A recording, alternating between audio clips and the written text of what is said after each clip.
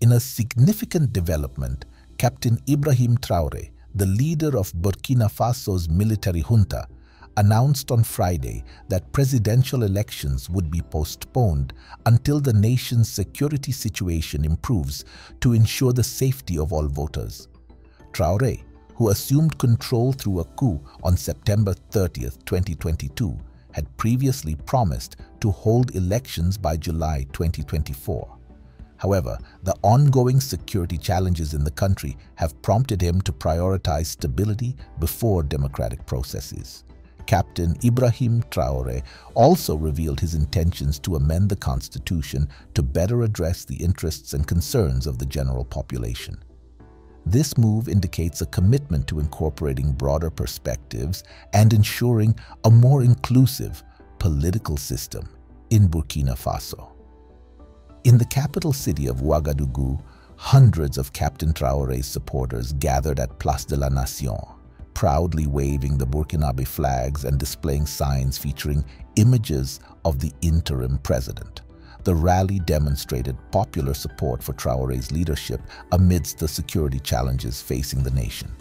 The citizens, weary of the deadly violence and disillusioned with the previous government, see Traore's actions as necessary steps towards stability and progress.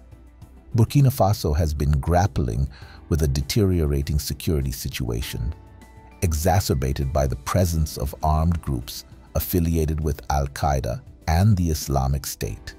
These groups have carried out attacks, resulting in the loss of thousands of lives and the displacement of millions of people in Burkina Faso and neighboring countries, including Mali and Niger. While Traore's decision to delay elections may raise concerns about the consolidation of power, it is important to consider the complex security environment in which Burkina Faso finds itself. The military junta's focus on strengthening security and stability before proceeding with elections reflects a genuine concern for the safety and well-being of the Burkinabe people. Internationally, the coups in Burkina Faso and other Sahel countries have received mixed reactions.